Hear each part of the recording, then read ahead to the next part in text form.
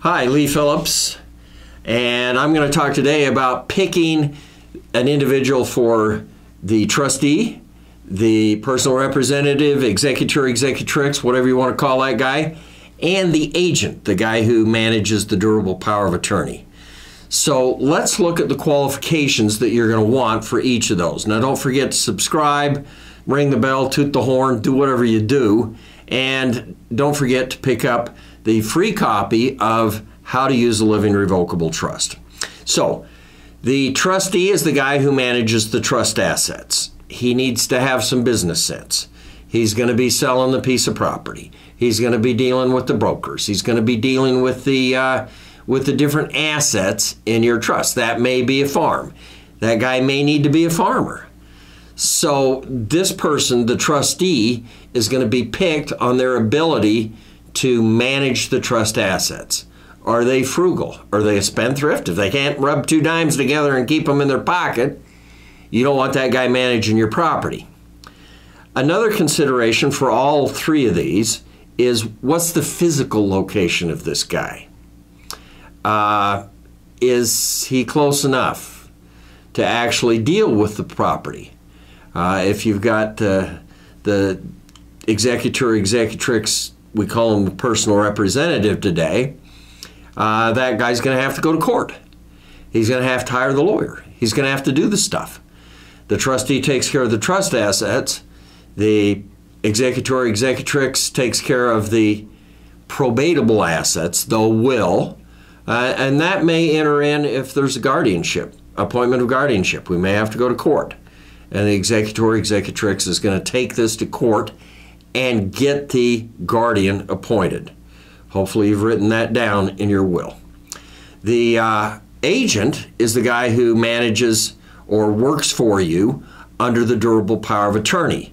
That's the document that kicks in and takes care of things when you become incompetent.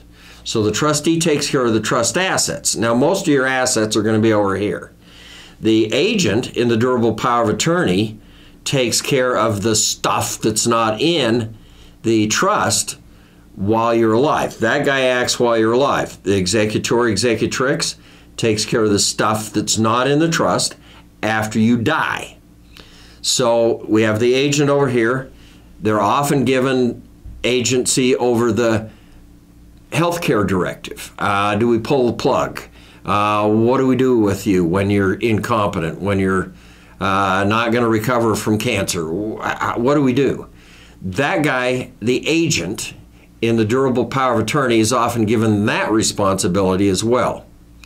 So we've got the trustee, they need to be good at business, they need to be close. Actually, all of these three guys need to be close physically because they're going to have to take care of stuff. The agent's going to have to uh, deal with your cell phone. They're going to have to deal with the gas company. They're going to have to deal with all sorts of stuff while you are alive. Instantly, when you die, the agent goes away. But while you're alive, this guy takes care of everything that the trustee doesn't take care of. When you die, the executor, executrix, takes care of everything that the trustee doesn't take care of. Uh, so they all need to be close. This one, the trustee needs to be good at financial stuff. The executor, executrix, they need to be good at paperwork, red tape, bureaucracy.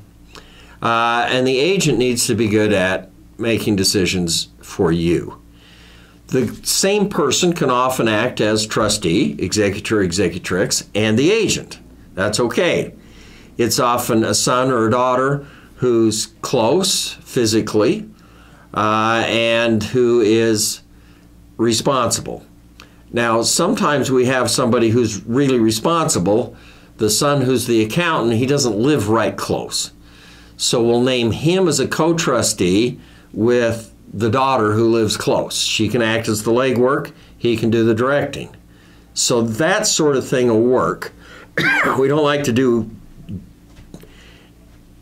groups very often. It's hard to get stuff through a group and have everybody uh, agree, but sometimes we do that sort of thing.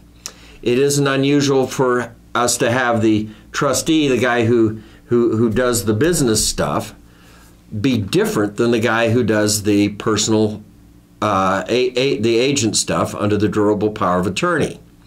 And the reason is they're going to make decisions on your health care, whether you go into the rest home, whether you do this and that and the other.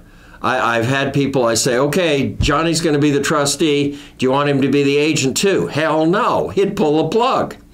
Uh, so uh, you can pick different people based upon their characteristics to, to manage the assets and to take care of your personal needs.